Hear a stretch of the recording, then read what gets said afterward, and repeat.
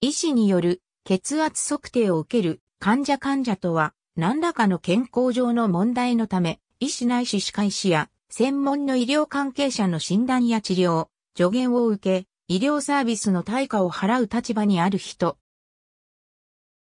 英語でペーシェントというところから医療現場では診療録などに PT という略記されることもある。病院の患者には外来患者と入院患者がある。外来患者のうち最初に新患として来院する患者を初診患者と言い、その後治療のため継続的に来院する患者を最新患者という。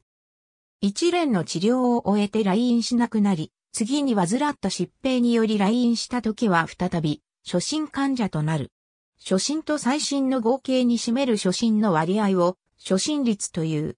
入院患者の来院するルートには外来経由、救急経由、紹介経由の3つのパターンがある。外来経由は外来に通院していた患者の容体が悪化して検査目的、または治療目的で入院するものを言う。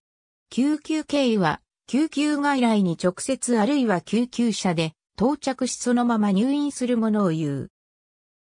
紹介経由は連携先の病院からの紹介で入院するものを言う。ABCO 医師科の子、小松大輔、病院経営の教科書日本維持新報社、2015年、6ページ。